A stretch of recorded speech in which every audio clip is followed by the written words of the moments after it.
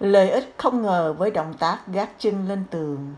Bạn hãy bắt đầu bằng gác thẳng chân lên tường 90 độ nếu có thể. Tuy nhiên, không cần quá sức làm theo sự dẻo dai của cơ thể mình.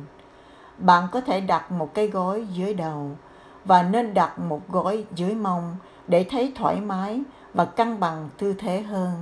Hãy để hai cánh tay lên bụng hoặc dang ra hai bên, nhắm mắt lại, sau đó tập trung vào nhịp thở. Hít vào, thở ra.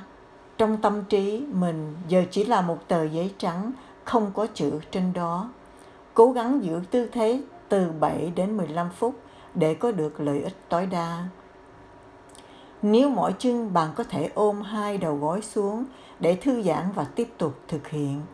Trong tư thế này có thể giúp bạn giảm bớt căng thẳng do thư giãn cơ bắp ở cổ, ở lưng và tập trung vào việc điều hòa hơi thở sâu.